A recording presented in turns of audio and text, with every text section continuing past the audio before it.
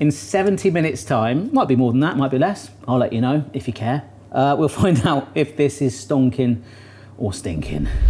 Hey everyone, it's Barry here. Hope you are well wherever you are in the world. Today we are making possibly one of the worst voted recipes on BuzzFeed Tasty. Let me explain, let me explain. Homer, uh, you know that I like to use the phrase stonking over the years. I found this dessert from Croatia called Stonska, and apparently it isn't stonking at all. Sugar Addict 56, great username.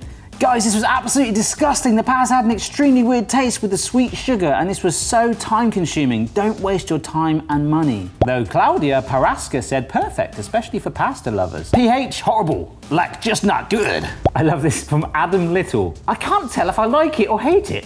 Well, just keep eating it, Adam. when an Italian family finds this, there's a picture of a knife. if you liked this, then you should get a COVID test. Oh my gosh. I really like Gummy Penguins uh, username and also their comment. One tip, if you do not like more different foods, don't make. Don't make. try if you like to try different foods. I would personally make again, and that is hopefully, well, we're gonna find out if this is stonkska or stinkska. I'm kind of on the fence. 15% people would make again. There's 29 tips, although I think you could argue a lot of those were not tips. Let's see if we can make it 16% making again. First thing we've got to do is make a dough.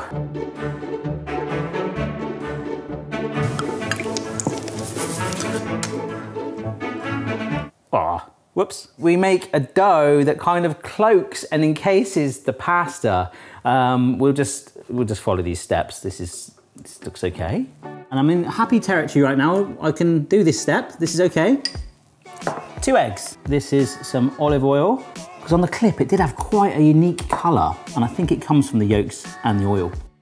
This is some apple cider vinegar, which goes in. Sounded nice, didn't it? Ugh. Yep. Just beating the eggs together with our lovely apple cider and the oil. I don't get it why you do this. Sometimes I'm like, why the heck do you need to beat? Yeah, it's all going to get beaten together, but let's just let's go with it. It's got 15% would make again for a reason, you know. Now we get an unnecessarily big bowl. In goes the plain flour, apparently. I'm saying apparently to cover my bases. So we're going to make a well.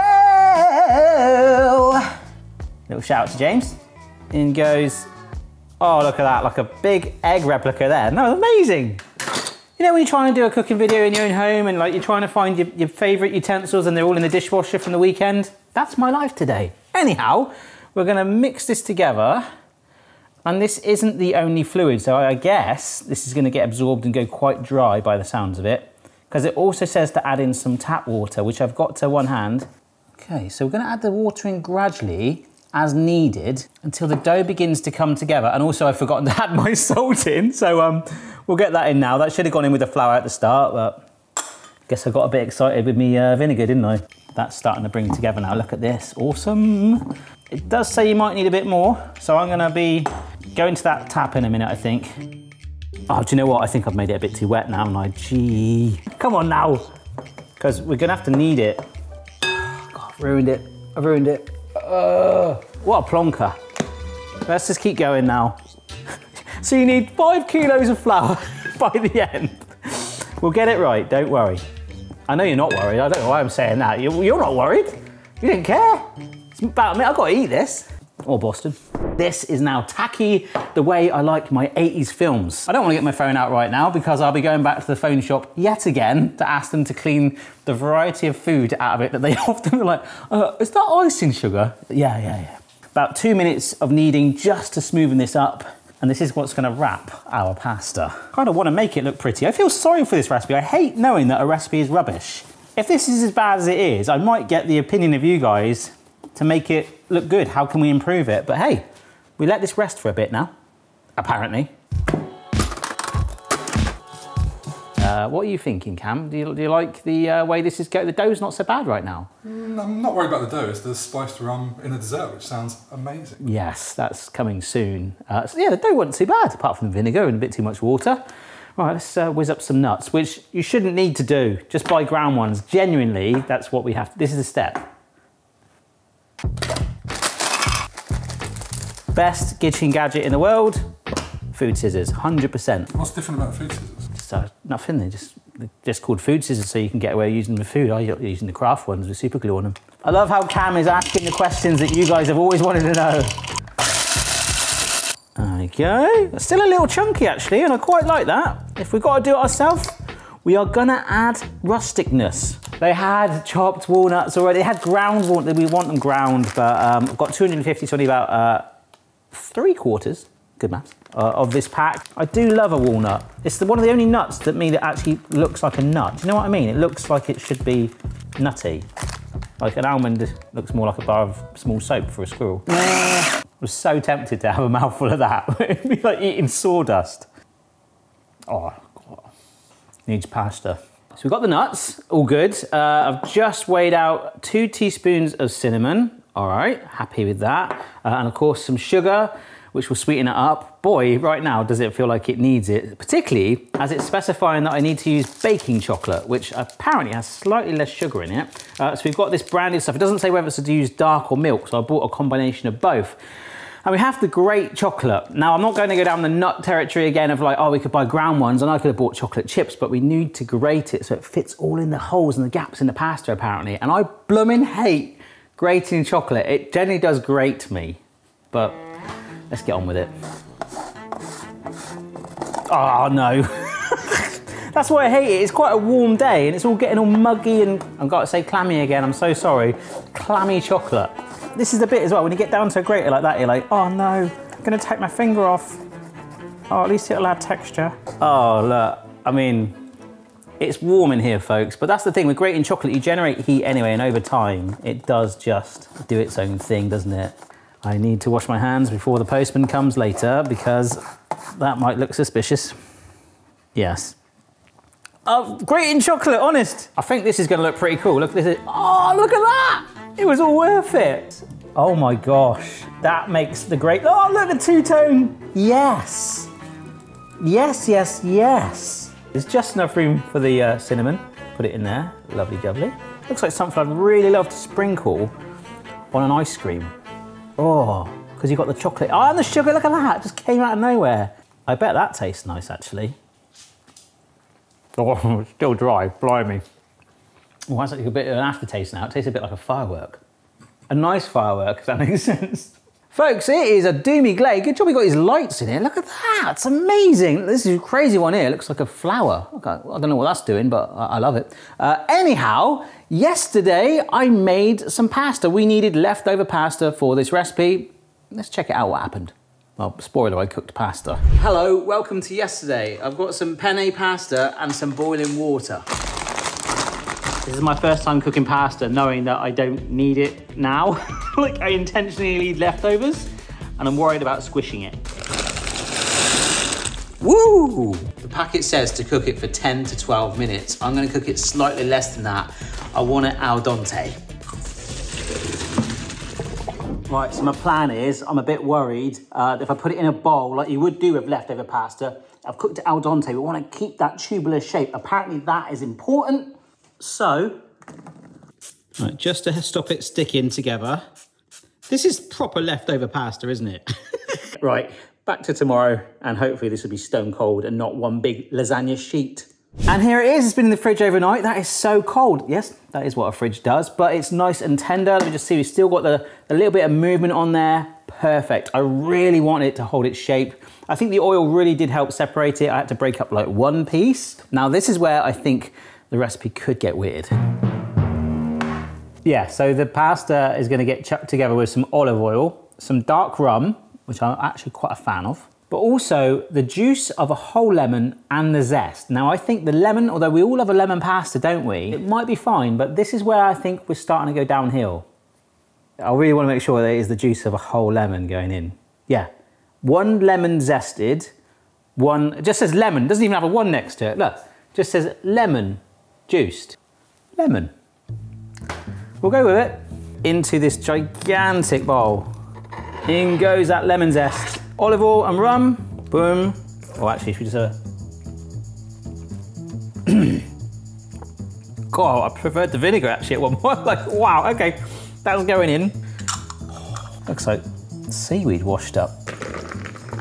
Almost like the citrus version of Parmesan, these specks of the zest are getting all on there and probably into those tubes of pasta. Actually smells quite nice. I feel like I'm a part of a secret club where like only a few people actually like it. But in Croatia, they blooming love it. So I'm all for that. In a medium bowl, I'm running out of bowls. Whisk together the eggs, there's six eggs, I remember that, and vanilla extract until smooth. All right. Oh, that's what's gonna bond all this together, isn't it? Nice. The head whisk is starting to get quite damaged to the point where there are some bits in its eyes. Ah! Um, that I can't really get out. Let's whisk these eggs. I actually just showed Cam, I was like, oh, another video I really want to do is homemade vanilla extract. And Cam wasn't aware. Have a little, have a little smell of this. Smell that? Your nose is a microphone. Actually, there is uh, alcohol in this, so it's almost as strong as the rum, right? It is, yeah. It's like a shot. Oh my God. I have never done that before, and now I know why. All these years of doing cakes and you're putting vanilla extract in, are you just generally just slapping in a bit of vodka with an extra vanilla pod in it? Blimey. One-os. That is a lot of eggs. Vanilla in. Whisk till smooth apparently. All right, folks, the oven is going to 180C, 160 fan, 350 Fahrenheit or equivalente. Let's get the dough ready. This is a springform tin that it all comes together in. Uh, we've got the spray oil to lubricate it in a bit, but of course the dough that we made earlier, uh, that has actually relaxed quite a bit. You can see it's gone a bit more floppier there, but we've got to roll it out massively, not only to do the base of this pan, go up the sides, but also over the top. So let's hope that it holds together. A bit like me, I'm trying to, I'm literally trying to hold myself together with this video. Um, I'm all right right now. I'm holding the fence. Just hope I don't rip this. We're gonna generously flour down with more plain flour. Oh wow, that is smooth, look at that. Oh, I felt like it wanted to tear then. Oh no. I don't want to take it too thin, and I feel like I'm at that point. So I'm gonna push it more, obviously. All right, fun times, fun times. I am gonna check the next step.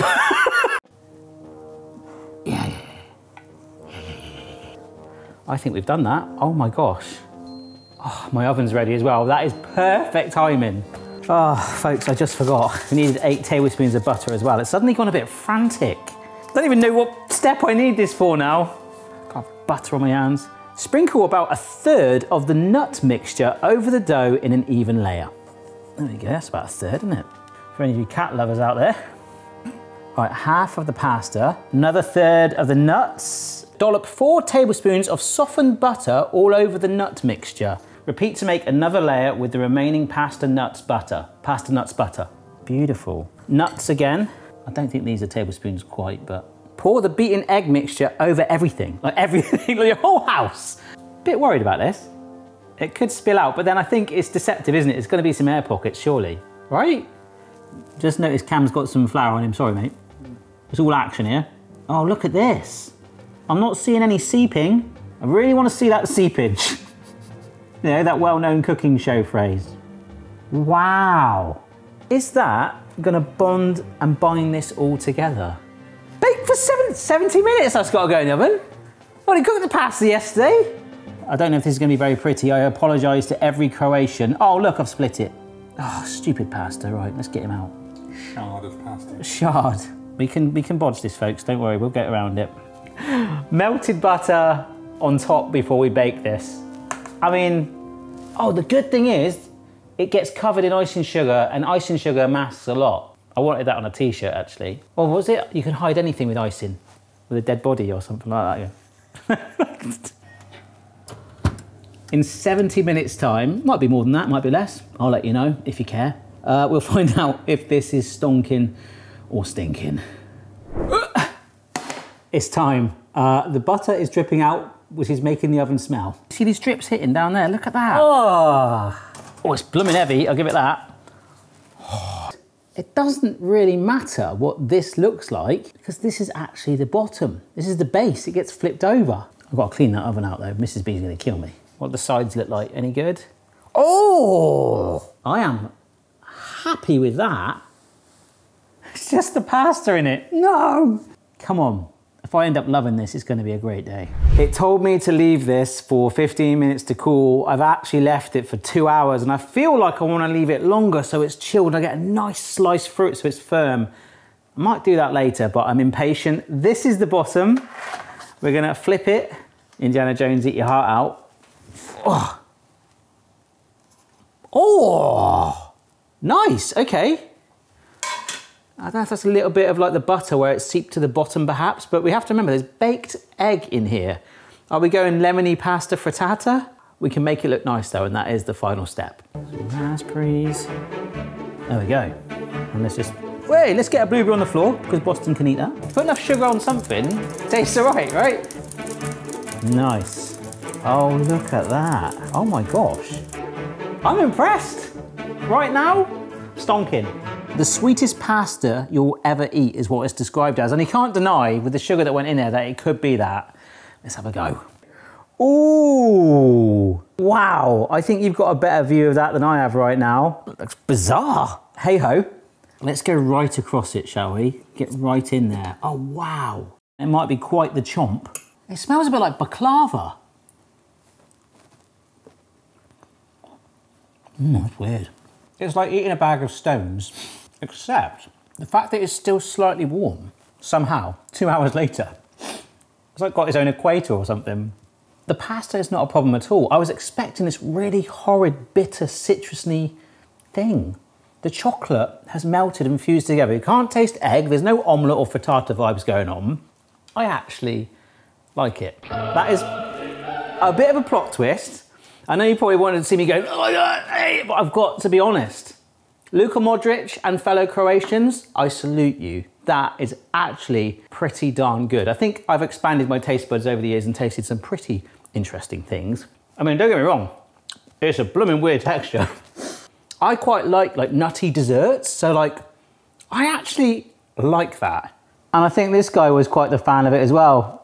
he got quite a lot of fruit from it because it is uneven on there, but it doesn't matter. For me, that is stonking. Now, Mrs. B isn't here at the moment. She'll be home in about three hours. But of course, Cam uh, has been helping me so much. It's been so nice for me uh, in the last few days already since having your help. Thank you, Cam. And I think it's only fair that I uh, take the camera right now uh, and you can actually uh, have a taste of this. You all right? Yeah, really looking forward to it. can you taste the rum? You can't. Oh. Does this autofocus? Yeah. Oh, wow, this is amazing. Oh, no. Would you pay for that? well, I bought the ingredients. and, I, uh, you know, kind of got quite a lot left. Bit dry. Bit dry. Okay. Maybe a little bit of um, some sort of sauce? It is very dry, to be fair. Well, there we go, folks. I don't think Cam is in the 15% club, are you, mate? Just outside. Would you like to take some home for dinner? No. No, great. Well, there we go. It's a very opinionated dessert. Thanks for watching, folks, and uh, we'll see you next time. Right, uh, picnic? Oh, it's crispy. Yeah. And it isn't savoury. And it looks like beef mince. It does. Penny for your thoughts? Chewy. That, that'll be the gravel. That's bizarre. Would you eat it again? No.